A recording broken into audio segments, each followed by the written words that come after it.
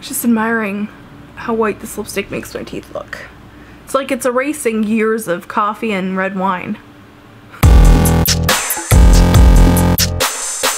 Guys and dolls, welcome back. I am super excited about today's video. I kind of came up with this concept yesterday when I literally had no time to get ready and I thought, you know what, this would make such a great video because there's so many times where we don't have time in the morning. Maybe something happened with your kid and you're running late now. Maybe you overslept. Maybe you got invited to something last minute and you're like, oh crap, I gotta get ready. We have got to get glam fast and you've got to have a couple of looks in your arsenal. We can use some smoke and mirrors to maybe hide something that we really don't have time to attend to. Before we get started, started, I just want to say hello to anyone who's new to my channel. My name is Cora, and if you hit that subscribe button, you'll be in for a treat. I do all kinds of makeup tutorials, fashion, all kinds of stuff I know you're going to love. So go ahead and hit that subscribe button. So let's go ahead and get started. First and foremost, I started with my hair. Now, I did some of this off camera because I'm a cheater, cheater, pumpkin eater. My hair actually looks pretty decent now, but it didn't look all that decent when I first woke up.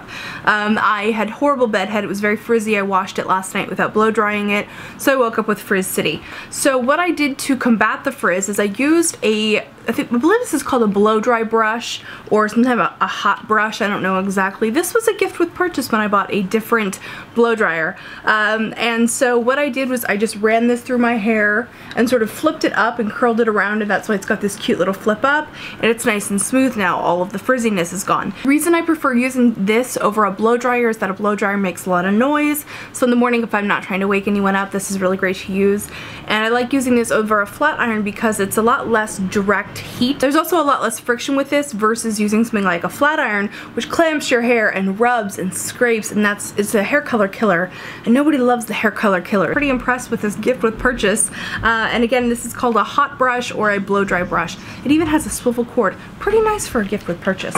So the next thing I did is spray in just a little bit of dry shampoo through my roots. This is my favorite from the drugstore. It's the Herbal Essences Naked. So your next step is to take a hair scarf. Now I got this one at Walgreens it's kind of long. I can't even show you the whole thing in the camera frame, but it's really lovely, kind of a chiffon fabric. In order to do this hairstyle, which is insanely easy, I'm going to first clip my hair back with a little claw clip just to get it out of my way and kind of have my hair however I want it parted underneath the headband. So next I'm going to take the scarf and I like this little rose here to be placed about there. It kind of gives me a marker for where I'm going to place the tie and then I'll gather it up at the back of my head and I am covering my ears a bit with this style today. So I just want to make sure that's just slightly off my eyebrows. That way my eyebrows are still visible because it's kind of looks a little weird without the eyebrows.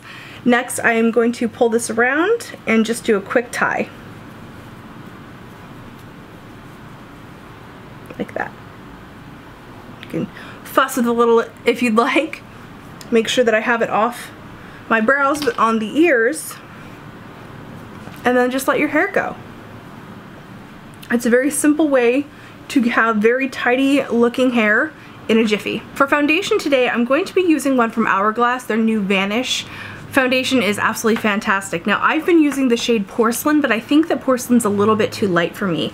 So I'm going to go ahead and test out the shade Vanilla right before your very eyes. This is the very, see look, brand new, brand new foundation. I'm so excited that we're reunited. I'm also going to use the brush that is like the companion product to this foundation, which I have not yet used. I'm peeling it peeling it open for the first time right before your very eyes. Ah, there we go. Satisfying. Alright, so I'm going to go ahead and what I like about this foundation is the triangular shape. Now it also means that you don't get a lot of product. You only get like a quarter of an ounce of product.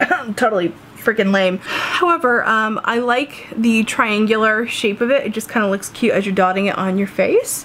So that's what I'm doing. I'm just applying it just generally where I feel like I'm going to need coverage. Like this. And I'm applying this relatively light because again, this is like a fast look. We can go ahead and pull this up just now. And I'm going to use the Vanish brush to blend it in. Using little buffing motions. This has excellent coverage, but it can also be sheared out. So you can see, while I have dotted on a lot of places, it's not a lot of product. It is a very sheer application. It's going to give me something like a little bit elevated from a tinted moisturizer. This color does match me well. Yay! I'm just buffing that in. And I do like to blend it down. My neck is such a vastly different color than my face. It's so much lighter. Then I find if I try to like match my face to my neck, then it just looks like I put on the wrong shade of foundation. Just a moment, I'm getting a call. Casco Optical wanted to let me know that my glasses are available for pickup. I've tried this foundation with multiple other brushes since obvi obviously this is the first time I've opened this brush up and I've been using the vanilla shade. I've been using it with a London Brush Company brush as well as just a beauty blender and this foundation is kind of miraculous. It really truly can be like light coverage like this. It can be full coverage if you want it. So what I'm going to do now is let this do double duty. I'm going to apply it a bit more heavily underneath my eyes and I have a little zit here, which I'm calling the Mrs. Darling, if you know what I'm talking about from Clarissa Explains It All. Her mother had a mole on her chin, which as a kid I always thought was kind of sexy. I thought it was beautiful. Now I think it's sexy. It's like Kim Cattrall. But it's not a mole, it's a zit, so it can go right the heck to foundation land. Bop, bop, bop, bop, bop under the eye with this. And then what I'll do is I'll just sweep over my lids. There's not like a ton of product going on, but there is a little bit of evening out of the skin tone because I do tend to have kind of reddish, veiny eyelids.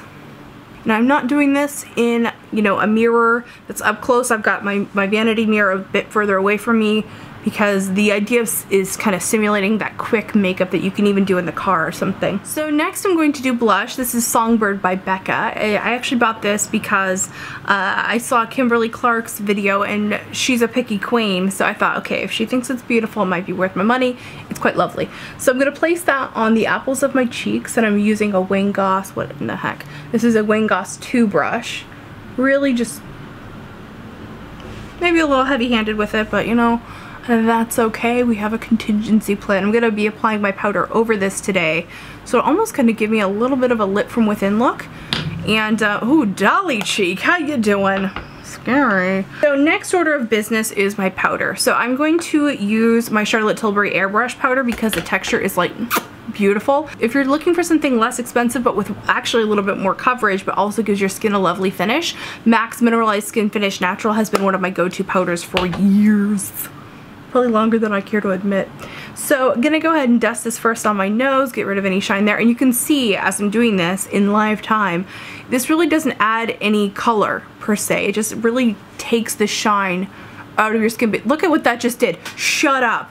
I mean, was that not like magic? You can see, now it's like a respectable amount of too much blush. One thing I always take time to do when I can remember is fill in my freckle because it takes about a second.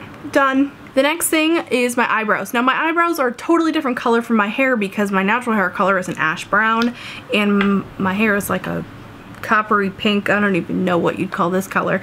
So one thing I like to do when I don't have a lot of time, I just need to really quickly fill them in, is use a really great brow gel. Now this one is from Senna Cosmetics. I picked this up at the makeup show.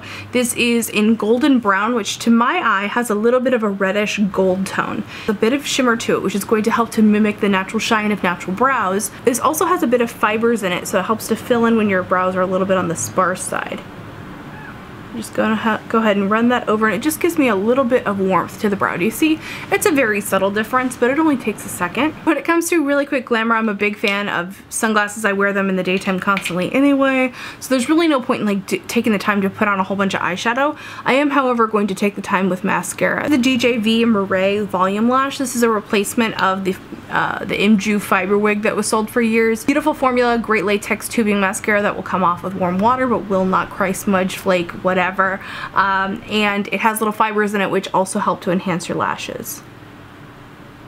If you're not a big fan of blush, you could always do bronzer or whatever type of thing, but the main point here is you don't have to do highlight and contour every single day, especially for a quick look. I just don't see the point. So now for the final piece of the puzzle, red lipstick has been my go-to simple get glam quick trick forever, probably going back more than 10 years. I just love it. It's perfect. It just gets the job done but red lipsticks can be kind of tricky to work with. One that I find is perfect every single time is ColourPop's Trust Me. It's their little lip pencil thing, uh, little lipstick, Lippie Stick is what they call it.